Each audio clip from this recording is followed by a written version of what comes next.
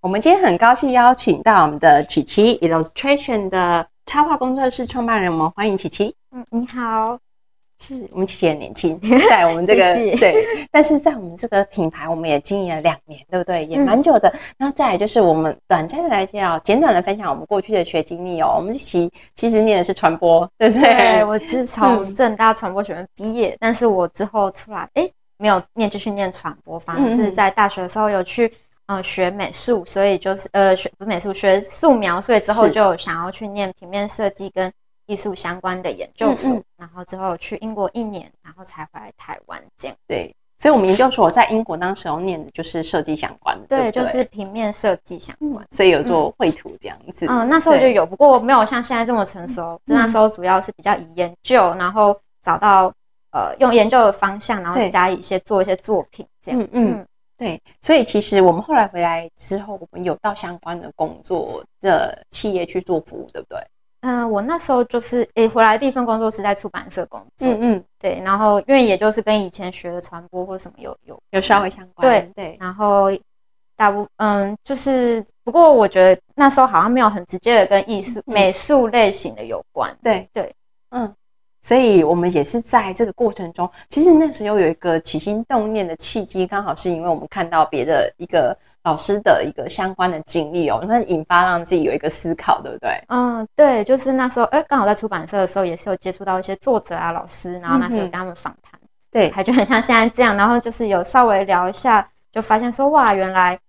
就是那时候也是真的了解，就是哦，坚持一件事的重要，可能他们也是在他们年轻的时候找到一些人生想做的事情，对，所以我现在就是那时候我就也是回去反思说，哎，那我自己想要做什么，然后嗯什么是我想要，可能真的是想要坚持比较久，然后可能想要成为我主要一生想要做的事情，这样子。嗯，所以后来就觉得说，嗯，我还是还蛮想要继续把插画当做工作。对，所以我后来对啊，所以才会有现在这个东西的出现。但是我们这个过程其实走到这里很漫长哦。我们若回到这个当初创立的时候，其实我们成立自己的琪琪的 illustration 这个插画工作室的时候，当时其实我们是想说用插画嗯来工作，其实有很多接很多刻字的一个作品的方向，对不对？嗯然后我们在大概我们花了多久时间才找到我们品牌定位的？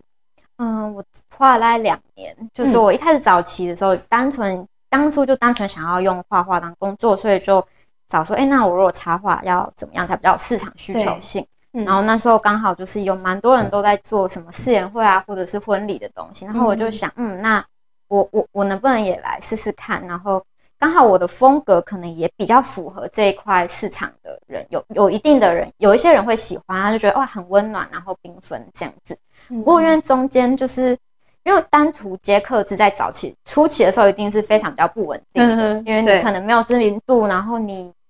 就是也许作品可能累积还不够对对对，所以比较不会弄，就是比较会不稳定，然后会比较。就是真的是比较真的很蛮不稳定，所以嗯那时候就觉得说啊，是不是应该要再去？所以中间那一段时间也要再去全职工作。对，不过后来是因为有在思考自己的定位的时候，就发现嗯我就在想，那我自己的东西跟别人哪里不一样？就是发现说，诶，那我也可以结合我过去可能有一些创作，比如说嗯我我也是有去念，就是创作相关的东西。那我如果把这些图像，嗯比较创作型的图像，但是我是以婚礼，就是把婚礼、结婚这件事有一些好的寓意啊，比如说像家，对，像呃，对这个像家的或者家是捧花。花，对这种东西，然后结合嗯到我的商品上面的话，不知道会有什么样效果这样。对，然后那时候也就是后来就发现说，哎，测试就是上市到市场之后，就觉得哎，好像大家反应不错，然后才嗯开始找到说，哎，我原来我的定位就是说，哎，我也可以接客制，那没有问题，但是我也可以有我自己跟别人不一样的地方，就是我有一些原创插画图像的部分。嗯，对，嗯，所以其实我们慢慢找到自己品牌的一个客群的方向，嗯对对不对？然后其实也蛮开心的是，因为我们找到一个我们画作的主题哦，那其实我们可能就更好去开发我们自己在这个方面的一个创作的一个类型，嗯然后可能一个更好，我们有作品可以跟客人做讨论。对，所以其实我们应这那时候我们就稍微我们就确立了我们想要做婚礼的一个相关的一个插画图。对不对？然后其实这也算是我们当初一个起初创业的一个困难哦。那因为客可能知名度不够，然后作品的方向不够，然后客人找不到，然后结果我们确定的方向，慢慢在制作以后，我们现在两年后的现在，我们就已经有一个很成熟的一个作品，对不对？有比较成熟的作品，然后也有比较稳定的一个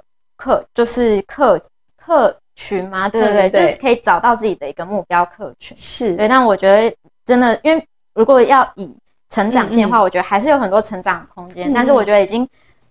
我觉得最基本的已经度过了那个创业最难过的第一坎，就是说你要找到自己的目标客群，跟找到那个。那个房，所以现在很开心，我们定位有找出来了。对，至少先过了第一关，可能说明之后还有很多关，maybe 对不对？对，可能扩大，可能往外在扩展的时候，到时候会有更多挑战。但是我们在这里，我们来分享一下，说其实我们确定我们自己一个平台，我们说我们客群决定在以婚婚礼这个相关新人来说的话，我们自己的经营理念是，我们希望在这个这其中，我们提供他们的服务是什么？哦，就是我一开始最开始就是以珍视你们的美好时刻，就是。英文就是 treasure your important moment，就是说，因为结婚这件事情是呃大家大部分人一生中比较重要的一件事情，所以我就是以一个我也是很用心去对待，去呃有一种祝福他们的意思，就是我在做作品的时候也是就是很就是会很认真或者是比较仔细的去对待这些事情，对，这样，嗯，所以其实能够参与他们这个重要的时刻，以及提供帮他们解决他们想要。应该说哦，应该是透过你的画作巧手哦，可以帮他们完成他们人生中这个纪很重要的纪念性时刻。对，嗯，那很开心哦，可以成为他们的一个助手这样子。对，一个祝福，祝福他们，然后然后完帮他们完成一件小事，这样 他们的时间很大的这个过程，其中一个小螺丝钉也是很重要的。对，那再来就是我们来分享一下我们提供的作品大概有哪些呢？哦哦，我的主要有就是一。结婚书约，然后就是里面书约就是摆放证书，对不对？对对对，然后有谢卡或是喜帖这样。就是这个谢卡，这个很漂亮哎，就是这个双喜这个。哦，这个是我这也对，这也是我自己创作的图像，就是它这个喜，就是也是那时候也是单纯就想说哇，就是 我我也是看到好多喜在那个结婚的很多呃物品上面，然后想说那我用插画的形式来诠释一下，我觉得我我喜欢，觉得比较活泼可爱，然后有点。比较年轻人可能会喜欢的那个样子，然后就这个你这个喜超可爱的，好丰富哦。哦，对对对，那个喜真的后来我我一开始也没有想到，就是我后来有发布这个图像，当在我的 IG 上的时候，也是有比较就是还蛮多正向回馈，说哎很可爱哎。对，因为这个喜感觉就很丰盛啊，美满，这是一个花园的概念吗？对，就是对，因为我其实还蛮喜欢花的，就是刚好可能花也是跟结婚的东西会比较像，就是像。花朵啊，或者是婚礼婚礼元素很多的，然后而且结婚可能，就像我自己也比较喜欢缤纷的颜色，也许他们可能就觉得啊，这样很活泼，然后或者是有喜气的感觉。这样，嗯，我们来具体讲，我们的画作的呈现其实都是以比较缤纷、温暖的色系去提供，对不对？对。嗯，刚好符合可能是喜欢这一类型需求的客人会找到你这样子。对，然后加上可能刚好结婚这件事也是比较喜，就是大家就喜庆，然后可能要开心，然后觉得刚好有跟我的风格也有搭上，搭上。对，所以 这是不是也是算是您开始比较擅长的领域哦？比较画风可能符合这样子。哦，对，所以我当初也是后来选择就是。在婚礼这块领域也是因为这样，就觉得说，哎，我自己的风格本来就比较类似这样，所以我就。对，刚好找到命定的一个方向，哎，对不对？就不用再特别去改方向或者什么。嗯，这是很幸运的事。那再来，我们来分享一下，说你在呃成立这个品牌之后啊，你觉得你自己得到最大的成就感是什么？哦，我觉得其实就是客人的一些反馈跟鼓励。就是我觉得，嗯，我可能以创作者的角度，就是比较会觉得说，哎，有时候会看不到，就是会觉得自己的作品。就是有时候也会觉得没有那么好，或者是有一些盲点，然后会觉得说啊，可是当客人有时候给我一些回馈的时候，我会觉得我也是有点被他们感动到，就想说哇，我的图像真的